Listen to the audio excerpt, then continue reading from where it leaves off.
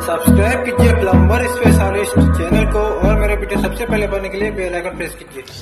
Hello friends बहुत बहुत स्वागत करता हूँ आपका प्लम्बर स्पेशलिस्ट चैनल में। आ गए हूँ आज फिर से एक नई वीडियो के साथ। दोस्तों, आप देख सकते हो, आज की इस वीडियो में मैं आपको इस डाइवर्टर को रिपेयर करने के बारे में बताऊँगा। यहाँ पे आप देख सकते हो दोस्तों डाइवर्टर से मतलब तीनों जो है, सावर टेलीफोन टावर और दोस्तों स्पॉट में पानी नहीं आ रहा है। टेलीफोन, हालाँकि टेलीफोन टावर में पानी थोड़ा बहुत आ रहा है, बाकी दोनों में जो है पानी नहीं आ रहा है। तो दोस्तों इसे मैं खोल कर देखूँगा सबसे पहले इसके अंदर क्या प्रॉब्लम है, क्योंकि पानी पानी जो है दोस्तों चालू हुआ ये जो काम है दोस्तों नया काम करा हुआ है, ज़्यादा दिन का नहीं हुआ है।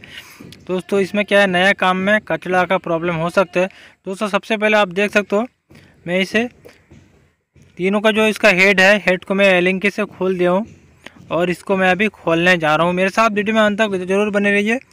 मैं आपको डिटेल्स में बताऊँगा, अगर ऐसे प्रॉब्लम आपके घर में कहीं भी होता है तो उसे, उससे कैसे आप सोल्व करें। तो आप देख सकते हो, क्योंकि दोस्तों डाइवर्टर जो है, बाहर का मतलब यहाँ का नहीं इंडिया का नहीं है, बाहर का डाइवर्टर है। तो सबसे पहले इसका मैं, इसका अंदर का जो वाला है, उसे खोल लेता हूँ। यहाँ पे आप देख सकते हो पेचिए के स्क्रू ड्राइवर का थ्रू से। इसे मैं खोल लेता हूँ।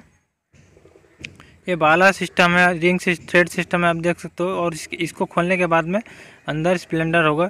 तो यहाँ पे मैं हाथ में आपको दिखा रहा हूँ देख सकते हो, पाइप का जो कचरा है, ये सब इसमें आया हुआ है, बारीक कचरा आप देख सकते हो।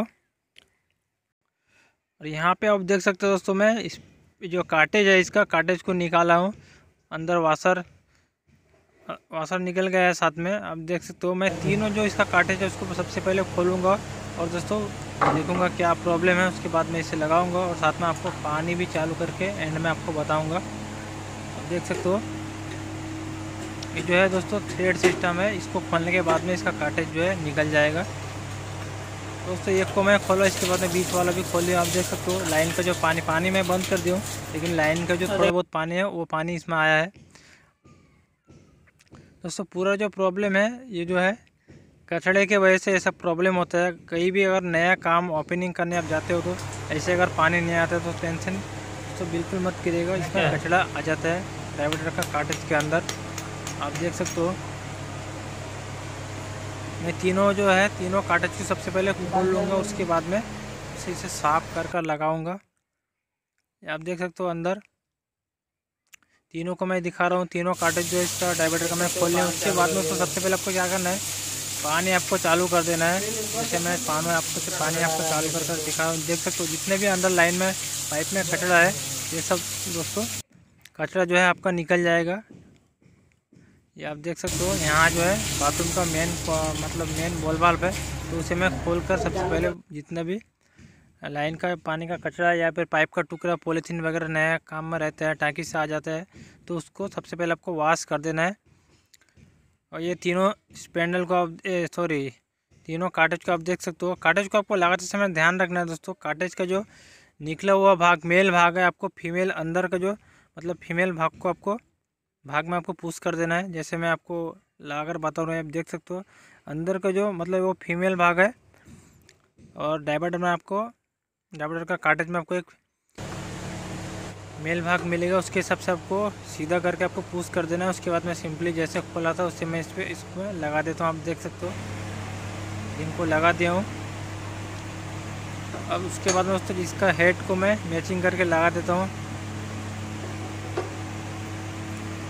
आप देख सकते हो दोस्तों, लगा दिया अब मैं आपको पानी चालू करके बताऊँगा।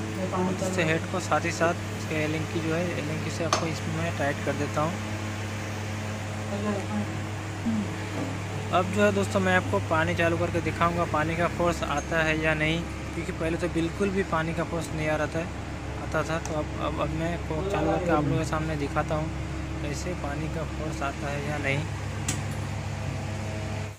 तो अब देख सकते हो दोस्तों, सबसे पहले मैं स्पाउट वाला जो ये है, उसको मैं खोला ये वाटरफॉल सिस्टम स्पाउट है। तो दोस्तों, पानी जो पहले तो बिल्कुल नहीं आ रहा था, अब तो पानी आ रहा है।